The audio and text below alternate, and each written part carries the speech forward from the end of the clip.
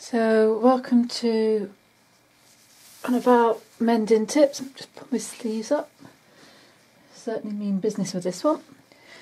This is again going to be a difficult one to see, but I can only demonstrate it with what I've got. Now, this is a problem that I get quite often, um, and that is the seam on a coat given. Um, it's a wool coat, um, and the fold in the seam stays pretty much in place, and that will help with what the way that we're going to mend this. So you want thread that's going to match. Uh, black on black is going to make it quite difficult to see, but I'm hoping it will help. Just make need to get the right needle. So I'm going to thread the needle up and I'm going to put a knot in one end.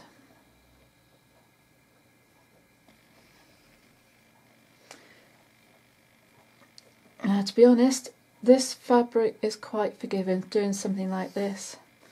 So I wouldn't worry about it too much. So what you need to do is just to rearrange your garment so that you're able just to hold that seam together. You see here some of the threads where it's come undone, just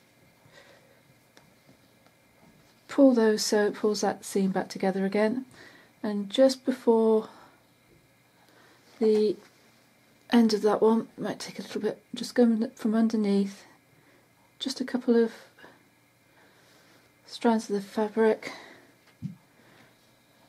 And I'm just going to make sure that the knot is down underneath.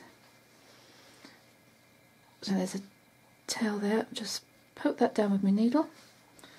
And I'm just going to hold those edges like that together. And I'm just going to slide along the seam at the most half half a centimetre either side what will happen is those little bars going across are going to pull that together and you're going to have an almost invisible mend. So just all the way along, just a few stitches going from one side to the other. You just want to make sure as you're going along you're keeping those edges together.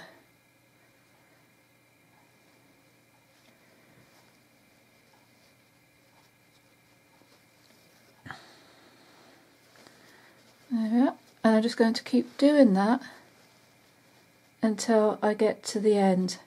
And every few stitches or so I'm just going to make sure that it's still all lined up so that it will lay flat when it's done.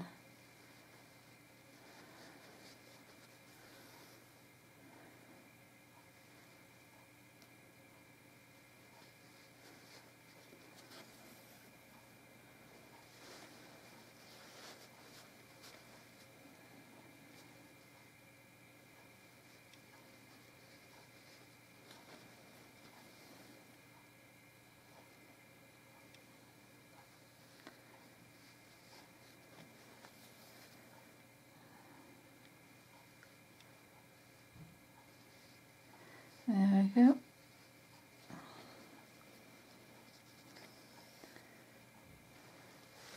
Because it's quite thick fabric, in places it can feel quite tough, so just ease your needle through, just take your time. Don't want to be pushing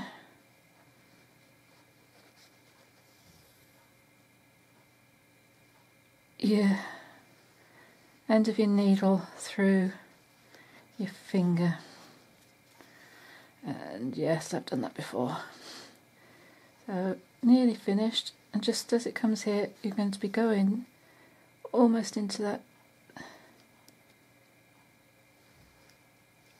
seam where it meets the sleeve there.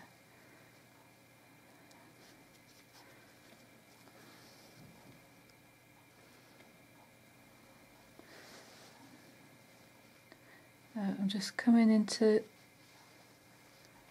seam there.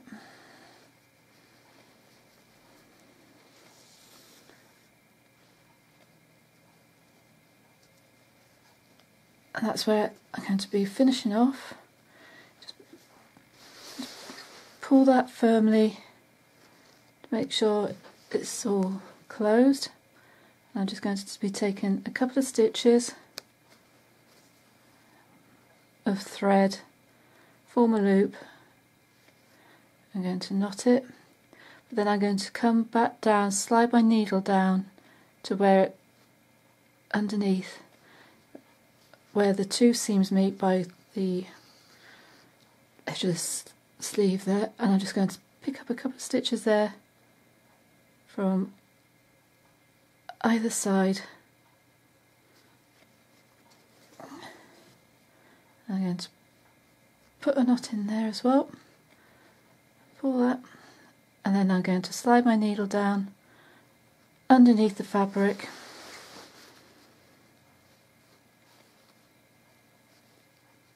down a couple of centimetres and I'm going to pull it up through the right way.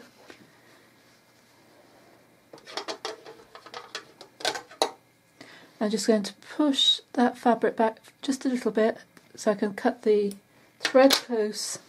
And when I let go the end will be back underneath.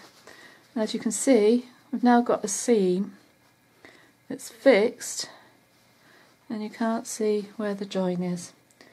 So that's handy not only for coat seams any seams that have got a hole in. That's the way that you do them and sew them up together